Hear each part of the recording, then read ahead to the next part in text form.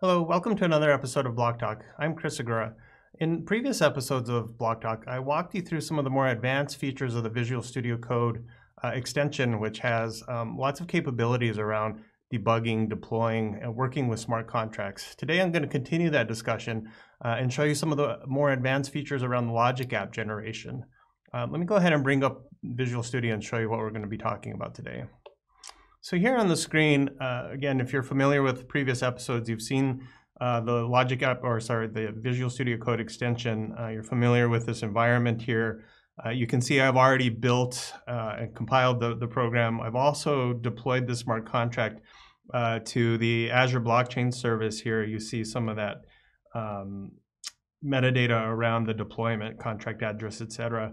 Um, in the previous episode, we showed you some of the more advanced features uh, down here around generating microservices. We talked about how if I were to click this menu item here, I generate microservices which wrap my contract functions like send request, uh, send response, etc., around a set of micro uh, microservices which are um, accessed and, and um, uh, leveraged through the Logic app. Uh, Logic apps will exercise a function, take the function results, and then send them back through you in sort of like a REST-like interface. Uh, today, I want to continue that discussion and show you uh, another one of these examples. I want to do the data publishing workflow, uh, show you what that does, show you how it's it's used, and also talk maybe a little bit about how that's related to the blockchain data manager episode that uh, we had on Block Talk just a few weeks ago. Uh, so let's go ahead and generate this workflow and let me show you what, what happens when we do that. So I'll click the button here, generate publishing workflow. You see as the extension sort of um, walks through the process here, it asks me what type of application do I want to build. Today we'll do logic apps, but again, you always have flow applications as an option here. Uh, we'll generate a logic app. Uh, you see here it asks me for the contract address. This is the deployed address of the contract that I want to interact with. Uh, you see here again with the metadata, I have the deployed address of Hello Blockchain. So I'll copy that address uh, and paste it into the window here. Again, in future updates of our extension, we'll make this process um, automatic for you. Uh, it'll ask me a few more questions. What is my subscription? Where do I want to deploy this into? Uh, I'll go ahead and fill out that data. You see here the extension did a little bit of work in the background. What it did was add this directory for me, generated logic app. Inside that directory, you see two files. Again, if you saw the previous episode around um, working with these logic app generators, you see the first file here is a JSON file, which we won't go into detailed discussion on. It's a JSON file that describes what logic app I'm going to use and how it's connected to other logic apps. Uh, in a second, I'll flash over to the portal. You can see a little bit better uh, what that actually looks like. But here you'll also see a SQL file, a SQL stored procedure, in fact. In this file, you see a very simple SQL statement, create table, table name, uh, with some data types for the table, right? So a single um, entry, varchar 255 wide. Um, this is really sort of the key piece of what we just generated. Um, let me show you actually how these two pieces flow together.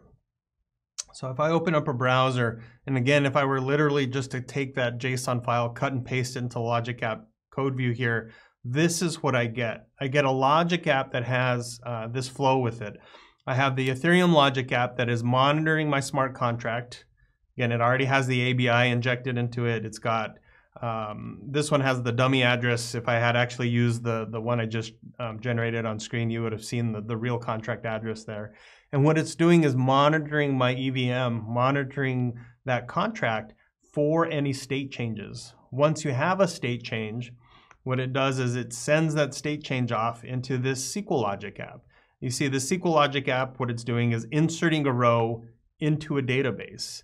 And it's inserting a row into the database that I've connected it to. So I have a database, a SQL database deployed in Azure. I've already pre-connected it before we started recording this episode, so you didn't have to see some of the uh, that, that piece, but it's pretty straightforward to connect this, set it up. So now what happens is when this logic app gets exercised, any state changes that happen on my contract are automatically flowed into this database. Uh, if you want to look at the database real quick, you see here's the database it's connected to. You see this table state changed, and you see this entry here, state data. That's that varchar value. So again, it really is kind of a simple example of how you go from something that looks like this something that looks like um, a simple logic app uh, that's monitoring my EVM, sending this data into SQL. Um, and anytime now that I interact with my contract and change state, that EVM notifies the logic app, the notif- logic app then forwards that data off into SQL. And then at that point, um, the SQL table just has this endlessly growing list of what's going on in my blockchain.